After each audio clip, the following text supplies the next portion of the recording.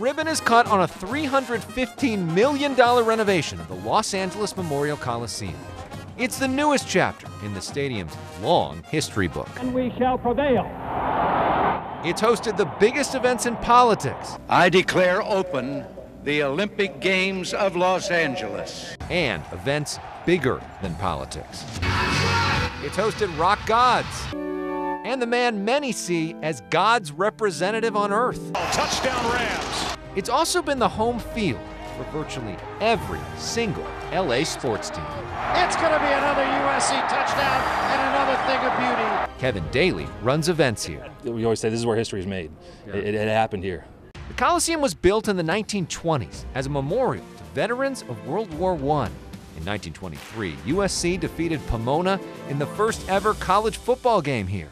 In 1932, 39 countries made their way to LA for the opening ceremonies of the Olympic Games. I proclaim open the Olympic Games of Los Angeles. In 1984, the Olympic flame would burn once again as the Games returned. A very young Eric Garcetti was there. It's like a pinch me feeling. I couldn't believe it as a 13 year old kid that I was even here. Los Angeles 28. As LA Mayor, Garcetti won the bid to bring back the Olympics in 2028, with the opening ceremony starting once again in the Coliseum. After I'm mayor, to be able to bring my daughter back when she's going to be 16 or 17 during those games, it'll just be the most phenomenal feeling of my life. In 1935, the Coliseum hosted its first president when FDR mourned Will Rogers. Will Rogers, kindly humor, saw facts, and laughed at fantasy. In 1960, John F. Kennedy made history here. That I accept the nomination of the Democratic Party. His speech at the Democratic Convention drew the biggest crowd of any convention speech ever. A 16 year old Bob Shrum was among the crowd. That's where Kennedy first uttered the phrase New Frontier. There was a sense of change and promise in the air. Years later, Shrum would be Ted Kennedy's top speechwriter and help run several presidential campaigns through it all, never forgetting 1960. I mean, did that campaign, that experience really kind of inspire the rest of your life? Yes, yes. Inspired not just me, but a whole generation of people. Many also inspired by Martin Luther King Jr.'s Coliseum speech in 1964 and Nelson Mandela's address here in 1990. The universal struggle against racism, sexism, and all forms of oppression 1963, the Reverend Billy Graham's crusade drew the biggest crowd in stadium history. We are sheep among wolves. 134,000 people packed inside, 20,000 more outside. In 1987, KTTV's cameras were rolling as Pope John Paul II blessed Angelenos. We ask this through Christ our Lord. In 1985, our cameras caught a very different kind of show when Bruce Springsteen and the E Street Band sold out the stadium four nights in a row. In fact, the boss has played here more than anyone.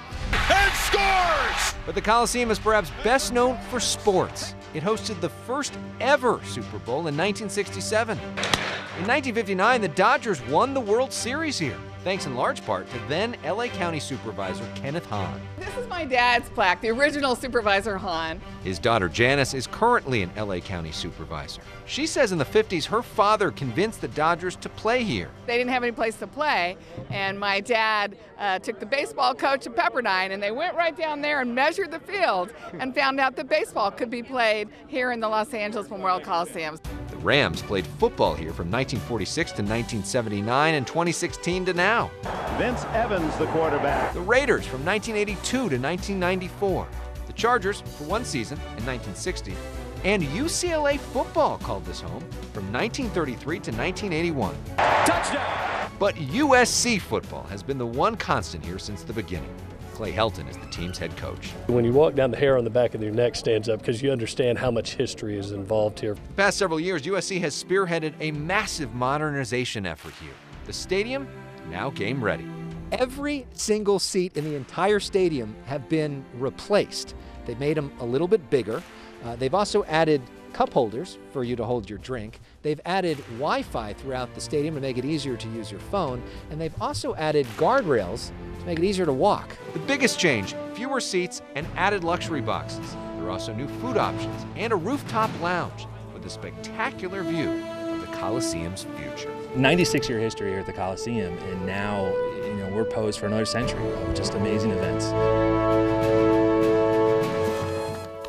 It is amazing. USC's first football game in the new Coliseum is Saturday at 7:30 against Fresno State. Wow. So, what's your favorite highlight uh, of the Coliseum? Your experience? I don't know. You know, honestly, it wasn't even in that story, but the Special Olympics. I went to the opening Oh, ceremony there, okay. and seeing the uh, the people from around the world come in and see their faces was really incredible. Okay. And of course, USC winning football games. Of but- course, of course, says, says the alum. Yes, yeah. Fight on. Very cool. Great, Fight on. great